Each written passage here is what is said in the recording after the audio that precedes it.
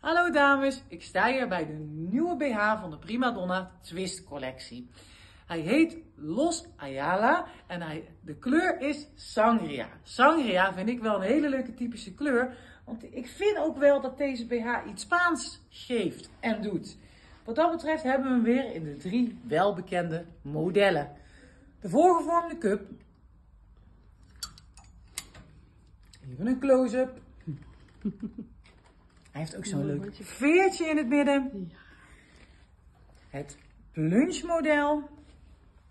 En de welbekende driedelige cup. En natuurlijk zit hier ook weer een paar leuke passende slips bij. De hotpants in combinatie met de voorgevormde cup. De welbekende taille slip. Die ook nog eens mooi glad is op de, achter, op de achterkant. Dat is niet zichtbaar. Dus dat is niet zichtbaar, inderdaad. Mijn collega zegt het al. De string.